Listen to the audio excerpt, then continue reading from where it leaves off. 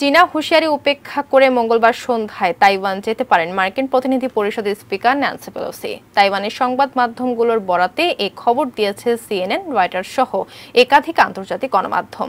তাইওয়ানের স্থানীয় মিডিয়া বলছে, রাজধানী তাইপেতে মঙ্গলবার রাত্রি যাপন করবেন পেলোসি। তবে মার্কিন স্পিকারের ভ্রমণ পরিকল্পনা নিয়ে কোনো মন্তব্য করেনি তাইওয়ানের পররাষ্ট্র মন্ত্রণালয়।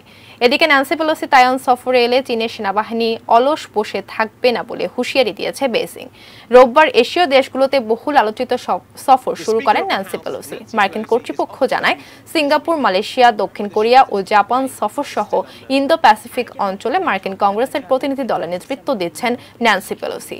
সত্যি সত্যি পেলোসি তাইওয়ানে গেলে সেটি হবে গত পঁচিশ বছরের মধ্যে দেশ দেশটিতে সর্বোচ্চ পর্যায়ের কোনো মার্কিন কর্মকর্তার প্রথম সফর।